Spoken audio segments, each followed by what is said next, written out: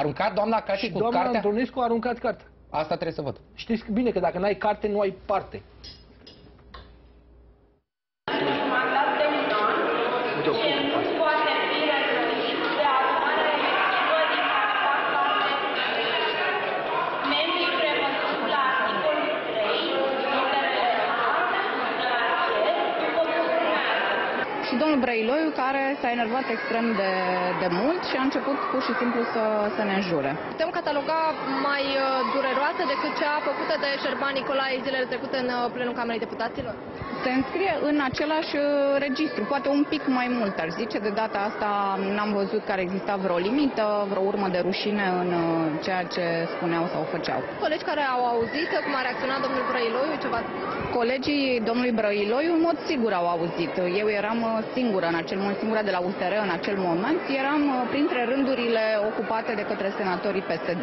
cum a reacționat dumnealor? Uh, Au fost extrem de amuzați de replica domnului uh, Brăiloiu. Nu am văzut gestul de astăzi, am auzit însă uh, exclamațiile tot la adresa Florinei de acum două zile. De altfel, ieri am solicitat uh, ca pe ordinea de zi să se discute uh, acest lucru. Sunt uh, sesizări și mai vechi din uh, luna aprilie uh, către biroul permanent care au rămas fără răspuns tot pentru asemenea comportamente injurioase ale celor de la PSD, ale unuia dintre liderii de la PSD. Din păcate, uh, nici până în acest uh, moment aceste sesizări nu au fost luate în discuție. În fiecare seară trebuie să trecem în revistă înjurăturile pe care și le-au adus unii altora. O mică înjurătură de o parte și de alta a problemei. Pe mine m-au plictisit. Prin repetitivitate. Nu, adică, nu știu, când eram noi mai mici, în spatele blocului. Ai copilărit la bloc? Din fericire. Deci știi despre ce e vorba. Dom'le, era o vorbă la noi. Bă, te înjur o oră, o oră jumate și fără să mă repet. Ăștia, nu, Ăștia sunt sunt repetitiv. subțiri. Ăștia Ia sunt uite, ia uite, ia repetitiv. uite. A spus, a spus, Avem a spus acel imaginile. cuvânt în patru litere pe care nu-l putem da la televizor din motive de CNA. Cu domnul, cum îl cheamă, Brăiloiu? Tit Brăiloiu. Cum mă, dar ori zici Titi, ori, nu știu, Tit, n-am auzit Tit. Radu este Tit. Deci nu poți Ia să zici uite. Tit. Spuse, spuse, Ia uitați Deci, cum, cum eu s-a, i-aș s-a da adresat afară doamnei pe toți. Presadă. Hai să sunăm pe domnul Tit Brăiloiu. Hai să sunăm, avem, hai să, să in, să luăm nu o ne înjure și inițiativă. pe noi. Să nu zică prinților, bip, bip. Ah, că ne zice prinților, Deci avem bip, bip. imagine cu Ne domnul Tit supărăm. Brăiloiu când uh, o înjură pe doamna Presadă. Da, îi face o urare. Da. Așa, fiecare... Dar să- sunt foarte sexual pesediștii de la o vreme, deci de la Șerban Nicolae, care susținea că are poze, la domnul Brăiloiu, Deci, Brăiloiu e cel din spate? Care nu Haide, mă, nu-l știți Ah, pe Brăiloiu. Ce mi se pare interesant este că toată lumea este foarte hazlie acolo în jur, adică toată lumea râde, iată ce atmosferă destinsă. În timp ce este înjurată o distinsă doamnă. Mă rog, în fine, ideea este că... Da, am- domne, domnul Brăiloiu e cel cu ochelari, care răsfăia cartea și făcea da, urări. îi făcea da. urările. Ce s-a întâmplat astăzi în Senat? În Senat s-au întâmplat următoarele lucruri. A apărut domnul uh, Tăricianu într-un plin dialog cu cei de la USR, iar cei de la USR îi reproșau tot felul de lucruri. Domnul Tăricianu a invocat ideea că el ne-a băgat în Europa. El ne-a băgat pe noi în Europa, aducându-l și pe domnul Băsescu în tabăra asta. Deci, domnule, eu și cu Traian Băsescu v-am băgat pe voi în Europa. Domnul Traian Băsescu este împotriva USR-ului, este împotriva DNA-ului, ca și domnul Tăricianu, dar este împotriva PSD-ului, spre diferență de domnul Tăricianu. Vedeți, aici e o, e o, e o conjunctură de, de, de, de războaie, de lupte între puteri, foarte ciudate. PSD-ul este cu domnul Tăricianu, nu este cu domnul Băsescu. E o conjunctură aici. U- PNL-ul, de pildă, este cu DNA-ul, este împotriva USR-ului ușor, este împotriva PSD-ului. Vede, e un pic de... Mi de... amintește de o anecdotă din al doilea război mondial, de la începutul celui de-al doilea război mondial. Intră secretarul de stat în birou președintelui american și îi spune, domnule președinte, Ungaria ne declara război. Da. Președintele american se uită așa, Ungaria, hm, mă rog, făm legătura cu președintele lor. De, n-au președinte, sunt regat. În regulă, vorbim cu Hai să suveranul vorbim lor. cu, cu regele. Vorbim cu regele lor. Uh, nu au rege, au regent, un amiral, amiralul Hortir. A, Amiralul înseamnă Hortir... că vin pe apă. Înseamnă că o să ne atace cu flota lor impresionant. Nu că n-au ieșire la apă. N-au Păi și ieșire atunci la cum? apă. Și atunci, nu, dar concret ce vor de la noi? Au niște revendicări teritoriale. De la noi? Nu de la noi, de la România. Păi și de ce nu le declară război? Sunt toți aliați cu Hitler. Sunt din aceeași tabără. Deci, până la urmă, e o chestiune care se petrece, de exemplu, în războiul din Siria, unde America se luptă cu, cu Rusia împotriva ISIS-ului. Împreună cu Rusia împotriva ISIS-ului. Uh, Dar uh, americanii sunt împotriva lui Assad. Rusia e cu Assad. Vedeți? E, e o conjunctură de asta acolo.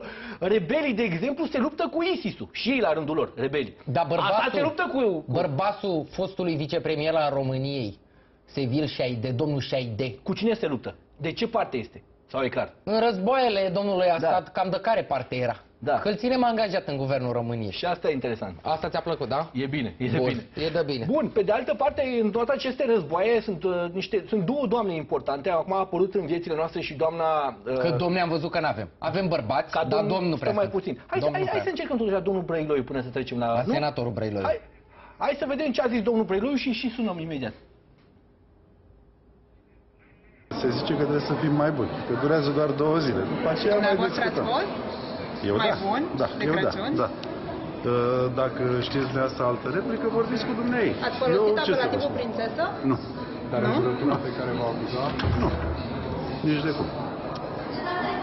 Dacă aveți nelămuriri, vorbiți cu dumnei, poate vă lămurește dumnei. Păi dumneavoastră inventat domnia nelămurit, asta da. totul și Probabil, dumneavoastră nu fost un știu. gentleman? Probabil, nu știu, eu sunt întotdeauna un gentleman și este sub demnitatea mea de bărbat să jignesc o femeie. Deci n-ați injurat? Nu, nu, n-am vocabular așa ceva. tot așa. Ați fost gentleman și când i-ați numit pe jurnaliști ciobani? Că ați mai avut antecedente de aia. Nu, niciodată ne-am ju- numit pe jurnaliști ciobani. Era un domn, operator, nici măcar nu era jurnalist. Haideți să numim și chestia asta.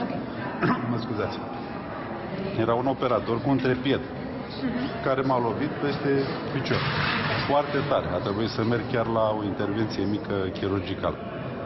Nu pot să mă descalț să vă arăt. Deci era un operator. Nici de cum un jurnalist. Deci nu obișnuiesc să... Nu știu, n-am de unde să știu, nu știu cum sunteți organizați dumneavoastră. Știu că cel care umblă cu camera nu este și jurnalist. Jurnalistul este cel care umblă cu microfon. Așa am crezut eu, nu știu.